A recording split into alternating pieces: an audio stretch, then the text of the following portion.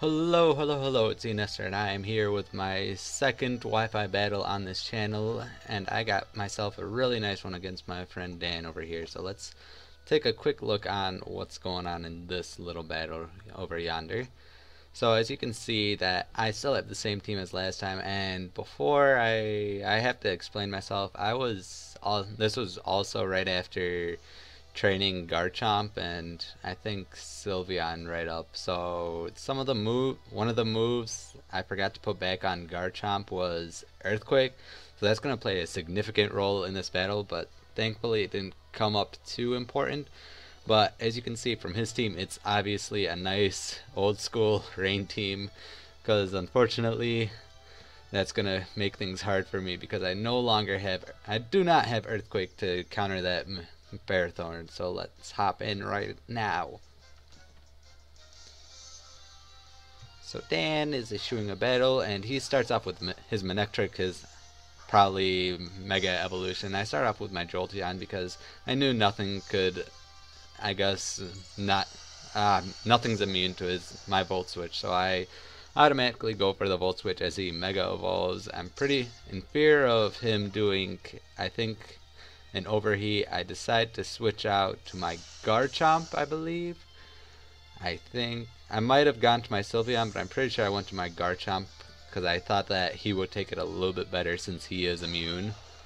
But as you guys can see from this overheat, it does way too much considering I am immune and I'm I have some I have some HP EVs too, so I'm surprised it even did that much. So he switches out his Manectric in fear of the Earthquake, and I predict that him, him going to the Gyarados. So I go straight for the Stone Edge, but unfortunately the Intimidate goes off, and I Mega Evolve also. And unfortunately, because of that Intimidate, I do not, I am not able to take out that Gyarados right away. So that's going to cause major problems in the future. So now that I do not have a stupid earthquake. I knew the Ferrothorn was coming in, so I was like, what is the best move I can do here? so I went for the Dragon Claw, hoping he doesn't have the Rocky Helmet. And unfortunately, he only had, or fortunately, he only has Iron Barb, so that didn't hurt too much in recoil wise. So I automatically switch out. I think I go to Aegislash to take in the most likely. I was thinking he'd go for Power Whip, but he went for Gyro Ball, so that that was even better for me because you know that did a crit and that was less than 30 HP so thinking that so now that he goes out to his Politoed making it rain I'm once again a special attacking Aegislash I'm like okay I'll just hit it as hard as I can with my Shadow Ball. And as you guys can probably tell that this Politoed is most likely a nice defensive one because that barely did anything that barely did 40. Stupid Politoed. So now, in fear of the Scald, I'm going to switch out to my Sylveon. And I knew that Sylveon probably would take it a lot nicer than Aegislash could ever. So there's the Scald, and that did an, about 30% after leftovers. And I'm like, okay, I can probably take on one more, so I'm going to go for the light screen to help my team take on this thing a little bit better. But unfortunately, he gets the burn. I'm like, oh, facepalm. I'm I'm gonna have to sack this Sylveon now because burn damage does a lot more than leftovers, which I just realized from this battle because it's after leftovers, left before leftovers I had 88 and now I have 75. So I'm like, oh god, this is gonna be annoying for me. So I knew that I had to attack with because I had nothing else I could do. No, I switch out. Hmm, that's interesting. So I switch out to my Jolteon, thinking it would take, it could do a Thunderbolt and kill that stupid Politoed. But he switches his switches in his Kingdra, so I'm like, okay, I can probably do something. He can, might go for the Draco, so I switch out my Sylveon. But thankfully, he doesn't go for. Unfortunately, he doesn't go for this. Ah, the Draco, but he goes for the Hydro Pump, which misses, thankfully for me. And I'm pretty sure I probably could have taken it. Probably could have taken it. Probably not because of that stupid burn. So now I'm thinking that this scared. I thought no, I knew I had to attack now because the Kingdra was. I was like, worst case scenario, Ferrothorn comes out and absorbs a hit like a champ. But for some reason, he brought out his Gyarados. So I'm like, okay, and the Moonblast was just enough to kill him. So I'm like, I'm just like in with my hand in a fist. I'm like, yeah, let's do this. But the burn is starting to rack up on me. I le have less than 50 HP, and this guy sends out his Ferrothorn. So I'm like, last time we went for a Gyro Ball, I think that Skarmory can probably take this a little bit better than my Aegislash now. So I send out my Skarmory, but for some reason he goes for Bulldoze, which was, he he went for the prediction of me switching in my Aegislash, because that's what I did last time. So now that I know that Ferrothorn can't do anything for me, against me, I know I'm going to set up a layer of spikes to, you know, make this a little bit more, make, make the defeating of his other Pokemon a little bit nicer. And now that his Gyarados, I know it'll affect all his Pokemon because Gyarados is gone. So I go for the Protects, wanting to see what this Manectric wanted to do. Looks like he wanted to go for an Overheat. So now I'm like, okay, who wants to take an Overheat? I'm like, Sylveon, you're pretty much dead. I'll let you drop his special attack by two.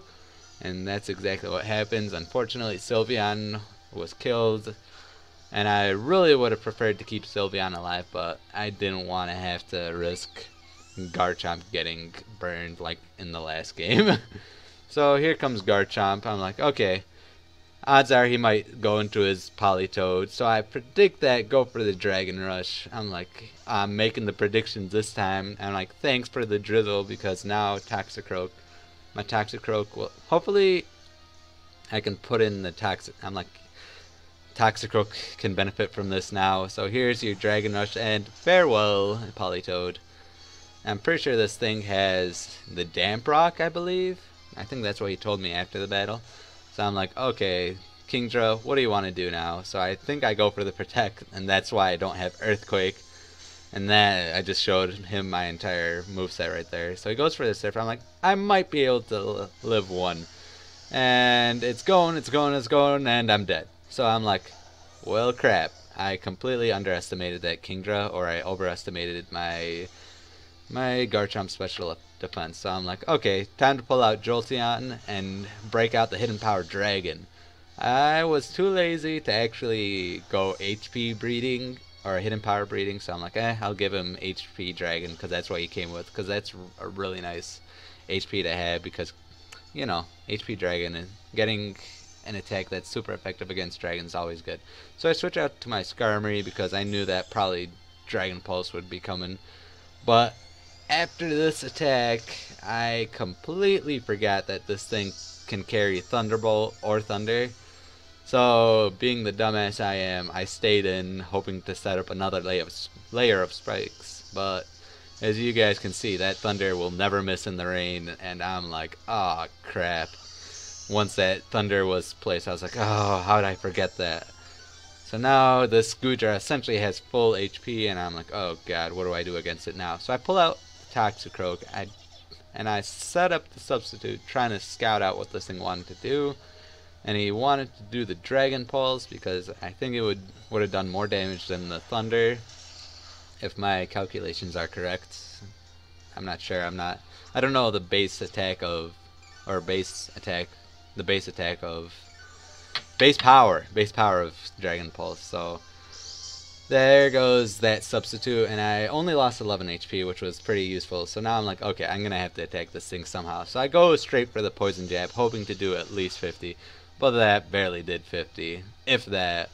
So this thing goes for Dragon Pulse. I'm like, please, Toxicroak, please live. And he lives with 33. I'm like, thank you. But unfortunately, the rain stops. I'm like, oh god. Oh god. So I'm four. I'm like, I'm here. It's like, Ferrothorn has to be coming in. Ferrothorn has to come be coming in. But I, no, I have to go for the poison jab because if this fair, if this Goodra stays in, there's no way Brick Break will take it out. So I'm like, and there's the Ferrothorn. I'm like, ah, if I oh, if I predicted that, I would have been so set. But unfortunately, that didn't work out for me. And I'm like, ah, no, what am I supposed to do? So I switch out into my Aegislash, I believe, but he predicts that perfectly and goes straight for the Bulldoze, and I'm like, well, now I'm super slow, and I'm like, okay, if he goes for the Bulldoze one more time, I might be able to live this. But, no, I go for the king Shield, hope, but I didn't know that Bulldoze isn't a direct move physical attack, so I was like, it'll make a minus two for him, and I'll be able to live. But unfortunately, that wasn't the case. So I'm like, okay, I'll go straight for the Shadow Ball and try to hurt it as much as I can. And that barely did anything. I was like, ah, nah. There goes my Aegislash for nothing. By Aegislash, the Bulldoze is definitely going to kill me because I'm in Blade form and it did like 60% when I was in Shield form. I'm like, oh, God.